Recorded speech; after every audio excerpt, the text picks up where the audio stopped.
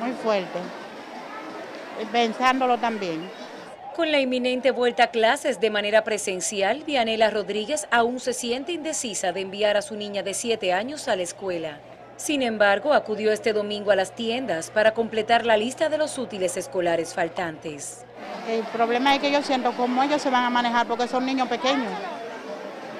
Porque fueran grandes, pero son pequeños. Y a veces un profesor tiene muchos niños también.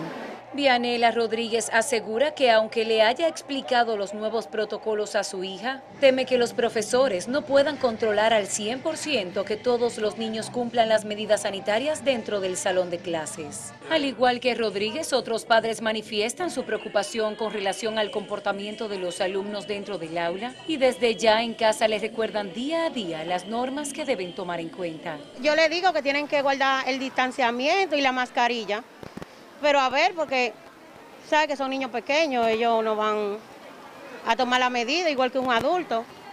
Puede ser que se quiten la mascarilla, que jueguen, se van a juntar como quiera. Al reconocer que los niños entre 5 y 12 años no permanecerán con la mascarilla durante la jornada escolar completa, con el fin de prevenir los contagios de la enfermedad, algunos padres implementarán nuevas reglas desde que lleguen de la escuela.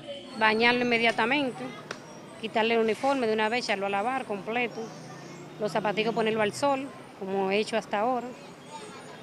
Y siempre le voy a echar su gel en la mochila, su gel antibacterial. Dentro de los protocolos sanitarios que anunciaron desde el Ministerio de Educación para garantizar la salud de los alumnos y todo el personal educativo, se encuentran la distancia de un metro y medio entre estudiantes, ventilación natural dentro del aula, trabajar en espacios abiertos, desinfección de cada área de manera profunda antes y después de cada uso, evitar saludos con contacto físico, entre otros.